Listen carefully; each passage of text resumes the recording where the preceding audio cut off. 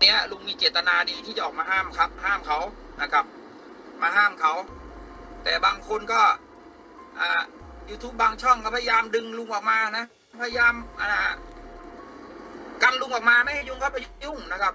ซึ่งลุงด้วยความลุงลุงเป็นห่วงนะครับ เป็นห่วง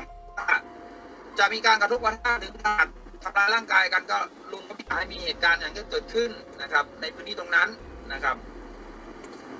เหตุการณ์ก็จะมีประมาณนี้นะครับ ก็เหตุการณ์ที่เกิดความชุลมุนนะครับ ผู้หญิงคนนั้นนะครับ ก็ได้ถือโทรศัพท์นะครับ ออกมาถ่ายในจังหวะที่สองคนนั้นนะครับ ลุงก็ได้เอาโทรศัพท์นะครับเป็นโทรศัพท์จากมือผู้หญิงคนนั้นนะครับน่าถ้าจำไม่ผิดน่าจะเป็น iPhone นะครับ iPhone รุ่นใหม่นะครับ พยายามที่จะถ่ายนะครับ จะถ่ายคลิปไว้นะครับ ลุงก็เลยเอาโทรศัพท์มาบอกไม่อนุญาตให้ถ่ายนะครับ อันนี้ต้องขออนุญาตนะต้องขอโทษด้วยนะครับ ที่ลุงพลนะครับ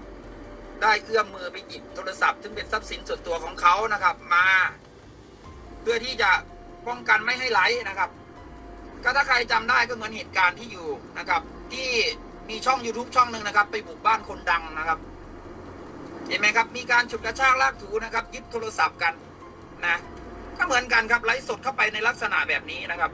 มีใครบ้างเจ้าของพื้นที่เขาต้องกันอยู่แล้วครับ พื้นที่ส่วนบุคคลเขาไม่ให้ใครเข้าไปยุ่งอยู่แล้วครับ